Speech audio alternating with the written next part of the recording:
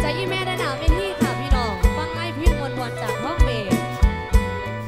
นี่คือหลานชายแท้ๆ ของคุณพ่อท่องใสทับถนน ตำนานพินสองสาย ตำนานพินไฟฟ้าดวงแรกแห่งประเทศไทยค่ะ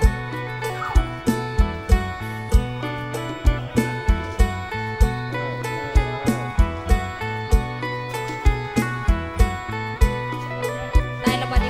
คือเสียวเงิน อย่าเป่าเด้อไป